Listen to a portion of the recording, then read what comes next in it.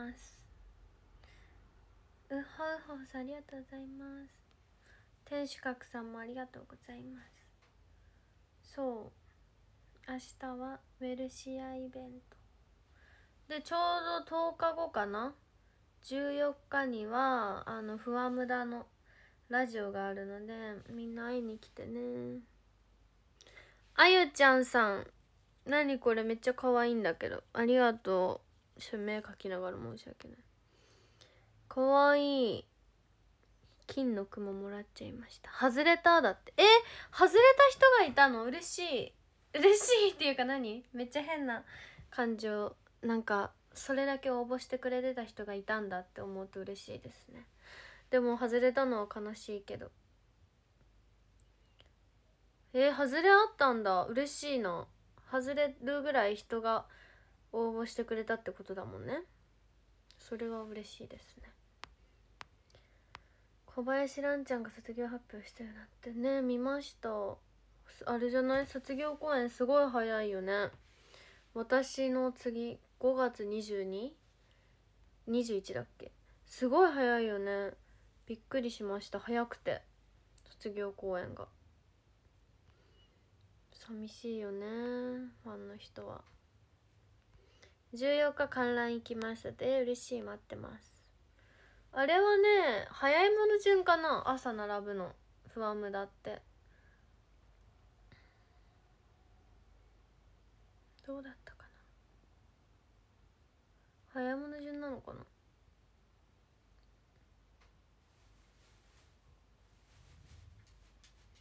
こんばんは。そう今日は朝起きてなんか昨日ね夜中にめっちゃ調べたの。ダイエット法。2週間ダイエット方法でめっちゃ調べて。でまあご飯はあんまり我慢せずにね夜ご飯食べて今めっちゃお腹いっぱいなんだけど。そう空腹。そう朝の空腹時朝ごはん食べる前にコーヒーを飲んでからあのウォーキング40分間するといいみたいな。そうなんか25分以上45分未満のあのウォーキングがいいらしくてそう朝セブンでコーヒー買ってウォーキングしました。そう。それも今日さゴールデンウィークじゃないですか。人めっちゃ多かったね。コンサートの時顔めっちゃ小さくてかな。嘘顔めっちゃでかくない？コンサートの時別に痩せてはなかったんだよね。普通のいつもの私だった。痩せてはなかったのコンサートの時は。そうでもコンあの劇場公演じゃないや。自分の卒業公演ってさその自分のもともとのさあうん？自分の卒業公演あ？自分の卒業公演ってそこまでレッスン期間が別にないわけよ。だからそのなんかご飯が楽しみになる感じでもないからちょっとダイエット本気でやろうって感じなのであのちょっとねそのドレスも着るしさでもドレスまだどんな感じかね決まってないんですよ。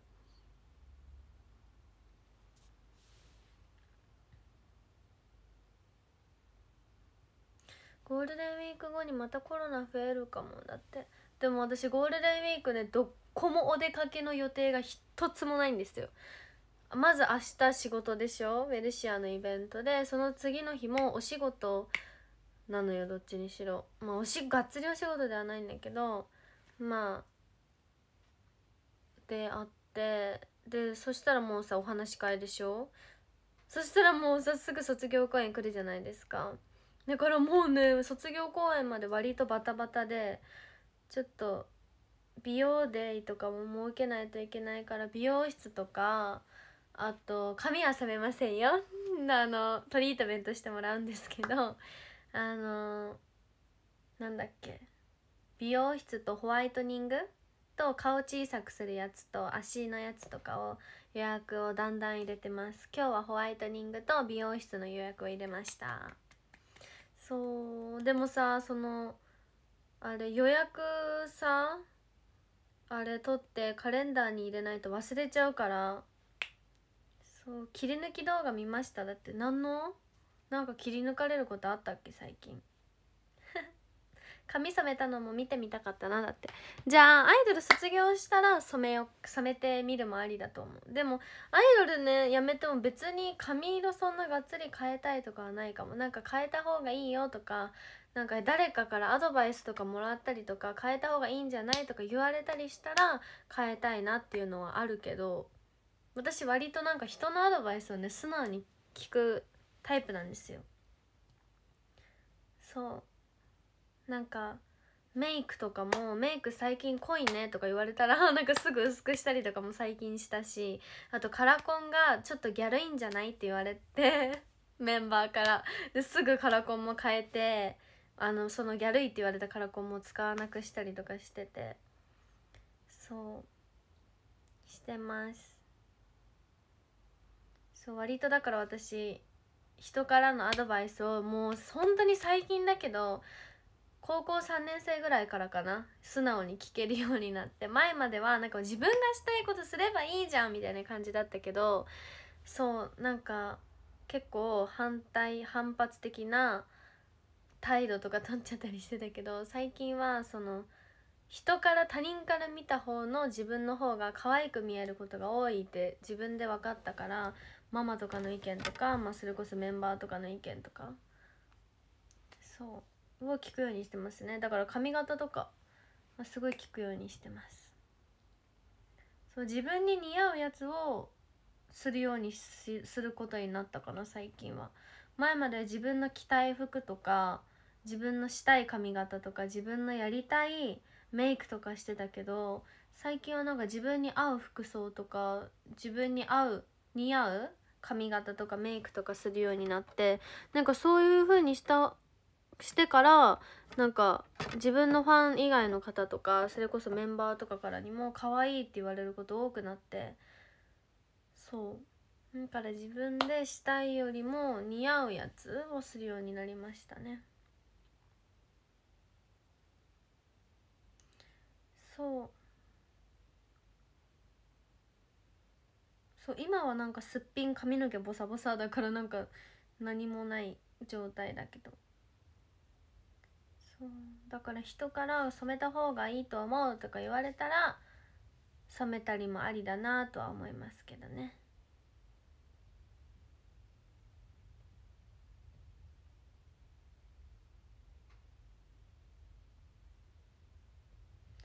そうでも今のところ別に感じだから。いいんだけど。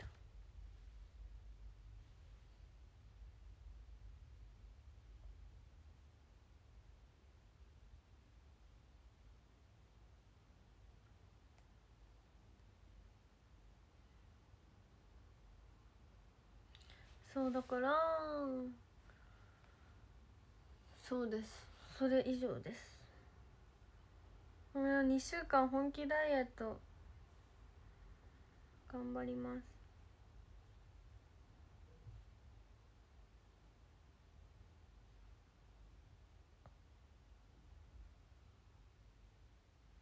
2週間じゃないよねもう。明日4日でしょ？え待って。12日かあと。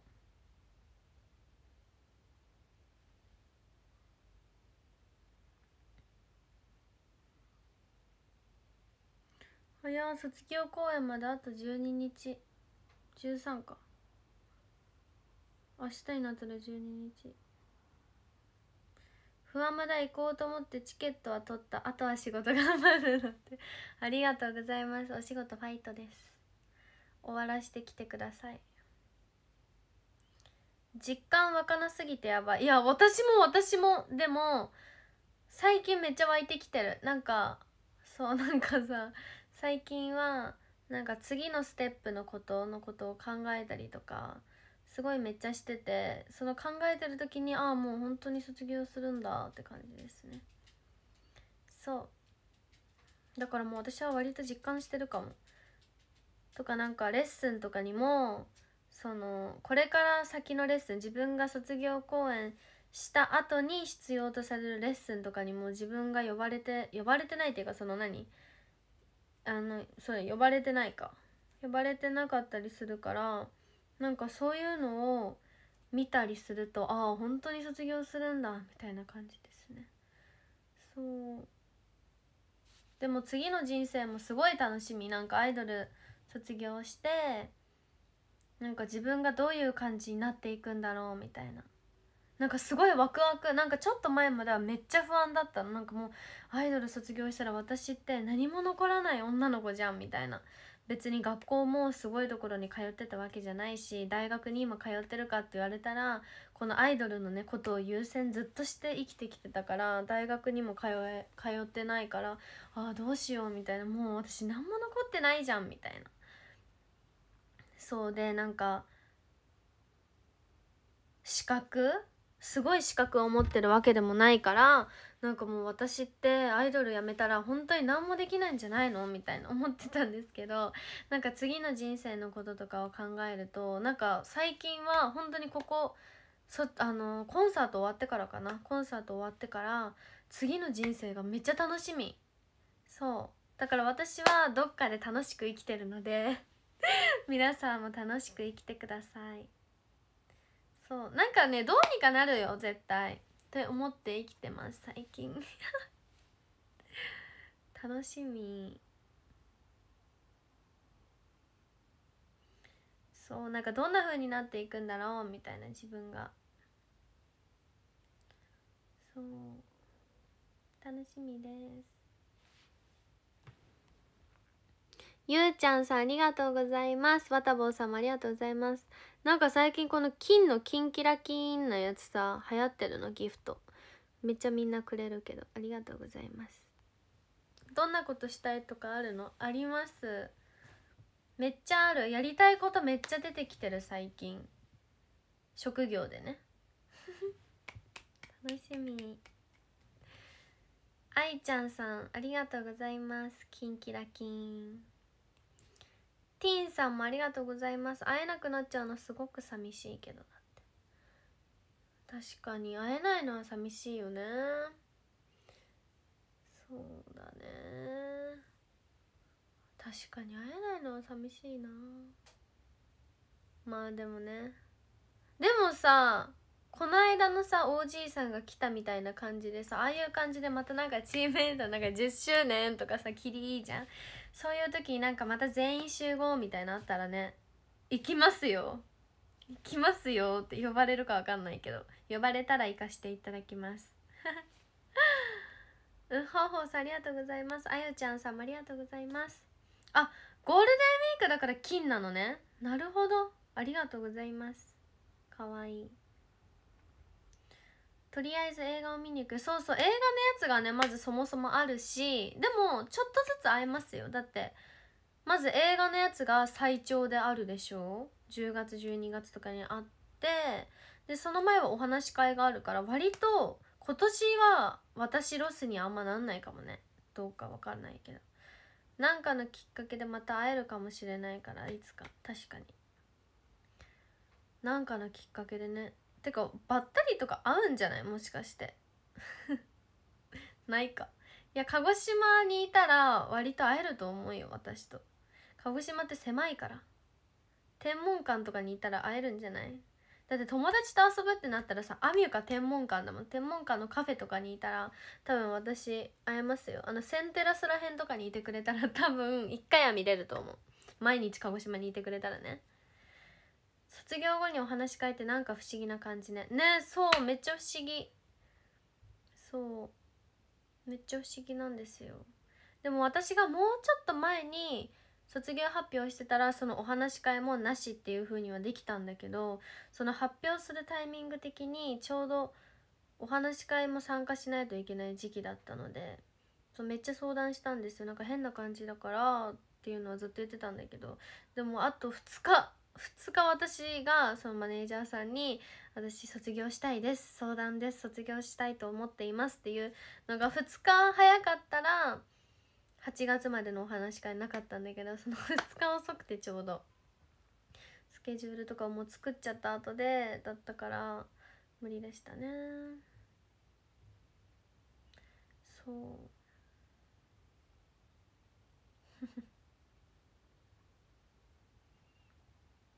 センテラス行ったことある。だって。センテラスっていうのかな？あそこなんか新しい建物。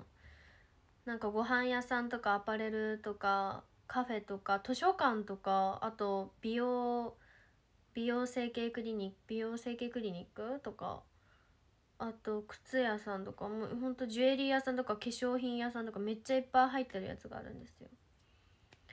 そうそこが最近できて。でもなんかアミューのさ隣にさできたじゃん。ライカだっけ？鹿児島中央駅のアミュープラザの横にタワーマンの3階部分ぐらいまでかな。なんか建物できて。でまたその横にもできたらしいのね。私さ鹿児島さ半年帰ってないのね。あ帰ってるわ。お姉ちゃんの結婚式で帰ったけどその時全然観光できなかったからさ。雨とか全然行かなかったけど。あのなんかできてるらしいよ。なんかまた新しい塔の横にまた塔ができてるらしい。そう鹿児島の友達が言ってた。そう。行ってみたいな。鹿児島帰ったら鹿児島帰ったらね行ってみようかしら。そう行ってみようかしら。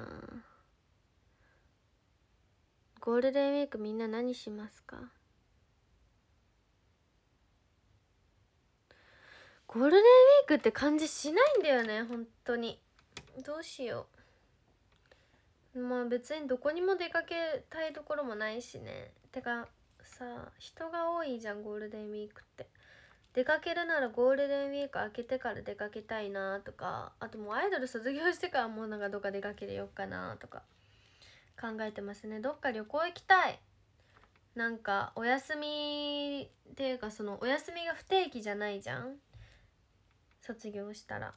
この日っていうのも決まってるからそうアイドルっていきなりお仕事がポーンって特に AKB 入ったりするからさ。